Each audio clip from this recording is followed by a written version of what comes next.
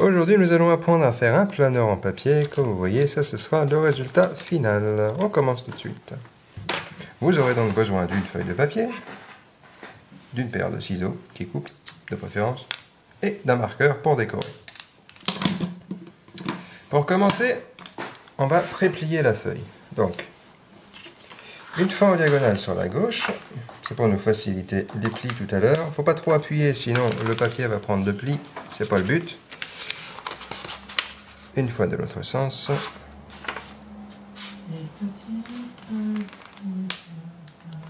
Saboteur Saboteur J'explique comment faire l'avion, il dit dit dit dit. dit dit c'est pas possible. Ah, je parle tout seul, je parle au mur. Excusez-nous. Aujourd'hui, nous allons apprendre à faire un planeur en papier comme vous le voyez ici. Donc ça, ce sera le résultat final. On commence tout de suite. Vous aurez donc besoin d'une paire de ciseaux, qui coupent de préférence, et d'un marqueur pour faire la décoration. Et bien évidemment, d'une feuille blanche. Pour commencer, on va faire les diagonales, ou plutôt les médianes, pour ceux qui ont des... Voilà, bref. La première, on commence à la plier sur la droite. Voilà. Il ne faut pas trop insister sur le pli, sinon le papier restera plié. Ce n'est pas le but recherché. Ensuite, une fois sur la gauche. C'est juste pour tracer à peu près le pliage qu'on va utiliser. Une fois dans la hauteur. Voilà. Légèrement. Voilà. Et une fois dans la largeur. Mais attention, seulement à la moitié. Donc là où vous avez le croisement de toute la médiane. Voilà. Donc, ça vous donne un espèce de moulin, une étoile. Vous appuyez sur le bas de la feuille, vous récupérez les deux diagonales que vous avez fait. Voilà. Vous les pliez en triangle. Voilà, ça vous donne une espèce de chapeau. Hein.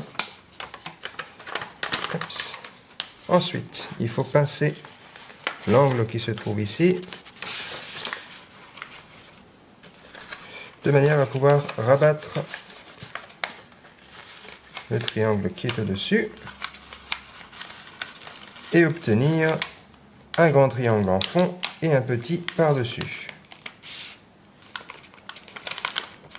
Là, vous marquez le pli. Vous pouvez y aller franco à ce moment-là.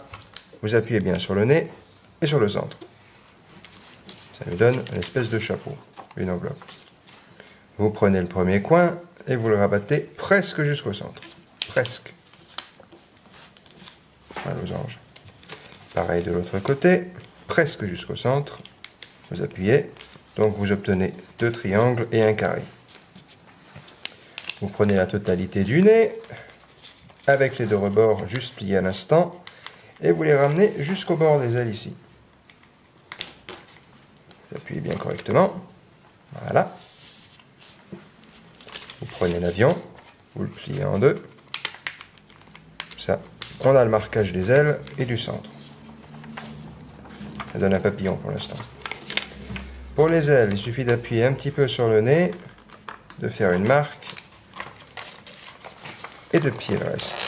Hop, voilà. Bien appuyer sur le nez pour que ça reste euh, en place. La même chose de l'autre côté.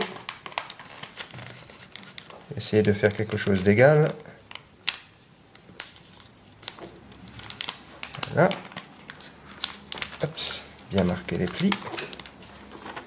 Ça vous donne ceci pour l'instant. On plie un volet à gauche.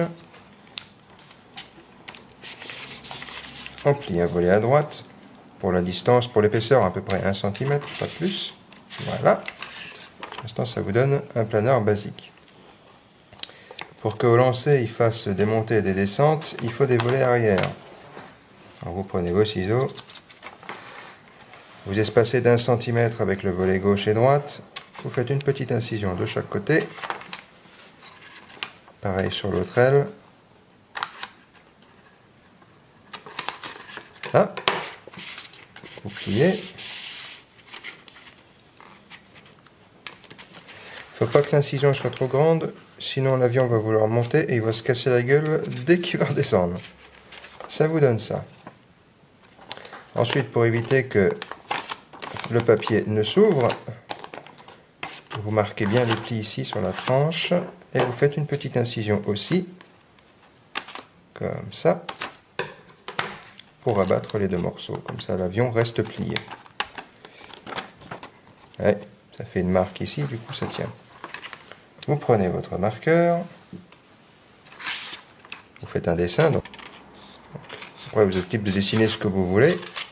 Et prenez bien en compte que vu que c'est du papier fin, si vous mettez du marqueur, le papier va absorber le marqueur, l'avion sera plus lourd.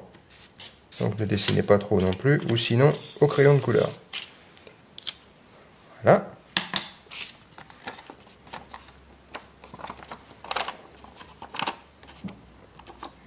Et voilà, un planeur. On va passer au test de vol.